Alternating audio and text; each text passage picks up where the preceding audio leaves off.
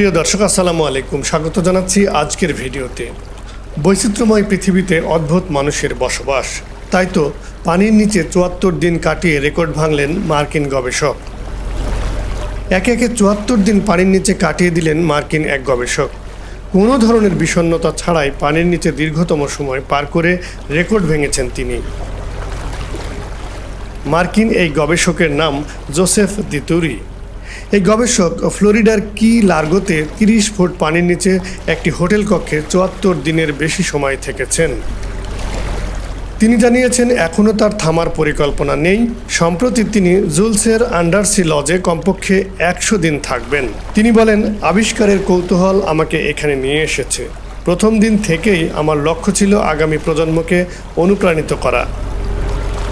সাক্ষাৎকার নেওয়া সেই বিজ্ঞানীদের যারা সমুদ্রের নিচের জীবন অধ্যয়ন করেন এবং জানেন কীভাবে মানবদেহ চরম পরিবেশে কাজ করে।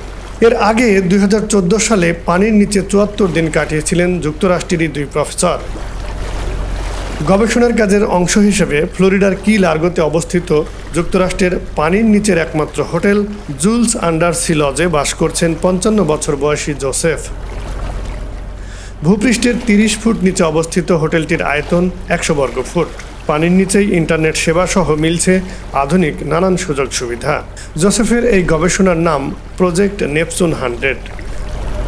দীর্ঘ এই সময়ে পানির নিচে শরীর কী প্রতিক্রিয়া জানায় সেটাই পর্যবেক্ষণ করা হচ্ছে। এ বিষয়ে ডক্টর জোসেফ বলেন, ভাবিনি রেকর্ড হবে। ভালো লাগছে, সম্মানিত বোধ করছি, তবে এখনও আমাদের অনেক দূর যেতে হবে। অনেক কাজ বাকি।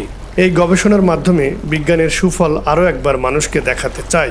তিনি বলেন, এ সময়ে সত্যি বলতে আমি যা মিস করেছি তা হলো সূর্য।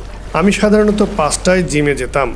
সেখান থেকে বের হয়ে প্রতিদিনই সূর্যোদয় দেখতাম। প্রতিদিন জোসেফের স্বাস্থ্য পরীক্ষা করা হচ্ছে। ডাঙ্গায় ফিরলে তার মানসিক পরীক্ষাও করা হবে। গবেষকরা বলছেন, ভবিষ্যতে গভীর সমুদ্রে মানুষের মিশনকে আরও সহজ করতেই চলছে এই গবেষণা। প্রিয় দর্শক, এমন অদ্ভুত গবেষণাকে আপনি কীভাবে দেখছেন, কমেন্ট সেকশনে লিখে জানাতে পারেন। প্রতিদিন নিত্য নতুন বৈচিত্র্যপূর্ণ খবর জানতে আমাদের সাথেই থাকুন। দেখা হবে, কথা হবে পরবর্তী আয়োজনে। সেই প্রত্যাশাই আল্লাহ হাফেজ।